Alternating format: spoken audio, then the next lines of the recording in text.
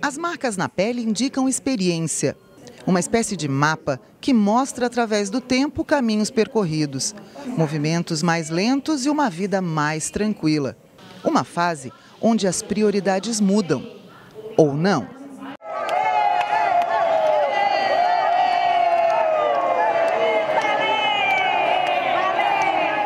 Hoje nós demos tudo de, de bom para os nossos filhos e é mais do que justo nós termos hoje como presente, como prêmio de Deus, envelhecer feliz e podendo também dividir esse carinho com um amigo do lado dar ele o colo. Quando está deprimido, vai lá, passa a mão na cabeça do teu amigo, diz eu te amo, porque nós precisamos um do outro.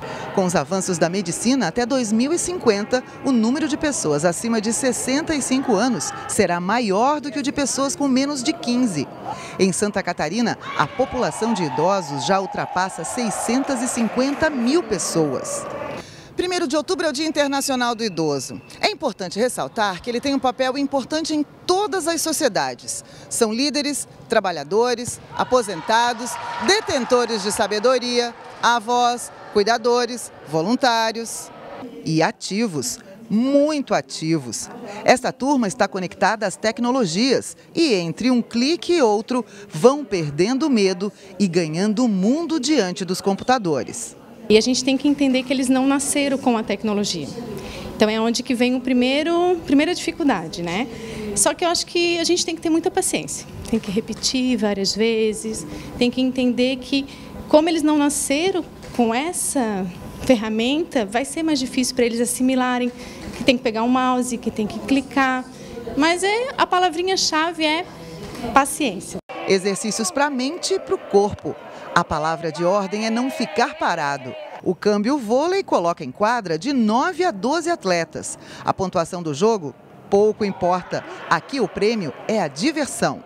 A qualidade de vida deles aumenta, é muito melhor.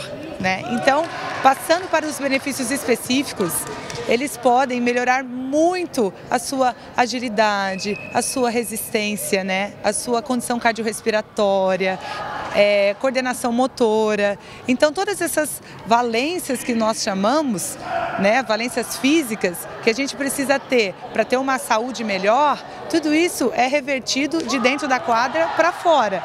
Quem pratica atividade relata benefícios que podem substituir remédios cada um tem a sua história de superação.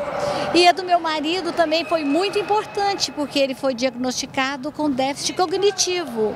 E nesse, nesse trabalho, nesse jogo, ele está bem. E o médico falou que para ele essas aulas é como um comprimido por dia de tanto que foi a melhora dele. O Serviço Social do Comércio realiza um trabalho com idosos durante o ano todo, mas neste mês de outubro promove mais uma edição do projeto Idoso em Foco. Serão 30 dias de atividades em unidades do SESC e espaços públicos. Nós teremos no dia 4 uma participação, um evento festivo, que é o baile em comemoração ao dia 1 Dia Internacional do Idoso, que ocorrerá no Lira Tênis Clube no período da tarde, então dia 4. No dia 18 nós temos um seminário que vai ser realizado na OAB, que é o envelhecimento consciente. Então, todo um debate acerca dessa temática, dia 18, no período da tarde, na OAB. E no dia 25, nós teremos um festival de integração na UDESC, tratando também da questão da atividade física. E aqui no SESC, especificamente nesta unidade, no dia 9, nós teremos um festival de integração das atividades de vôlei câmbio acontecendo a partir das 10 horas da manhã.